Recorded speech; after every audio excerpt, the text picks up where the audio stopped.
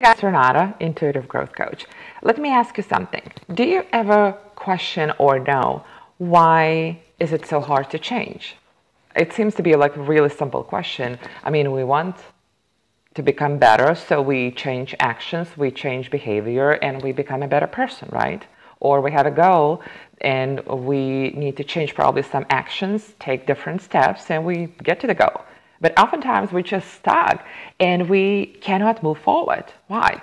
Well, most common reason is because we're kind of programmed and set up in the way that our mind protects us from anything bad happening or whatever terms they oper- that operate on, right? So if you're going to pursue your dreams and you're going to take some actions that are not comfortable or that you're not familiar with, uh, your mind automatically kind of sends you a message that it's not safe for you because it's not familiar, it's not comfortable, it might be even painful, or, I mean, just safety warning, okay? Now, if you're gonna stay in the comfort zone, okay, what's familiar, let's say your old life, making that, I don't know, whatever money you are making or staying with that in that relationship you are, it's also kind of sending you a signal uh, that it's not good enough for you.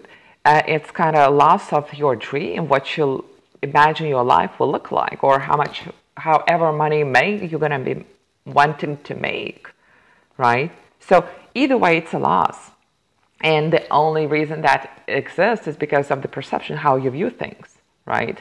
So if you um, programmed in a way that every time you do something new, it's dangerous or it's out of the safety, your brain going to be warning. So you gotta reprogram that. You gotta just ch- shift how you, what the things mean to you and how how you see things.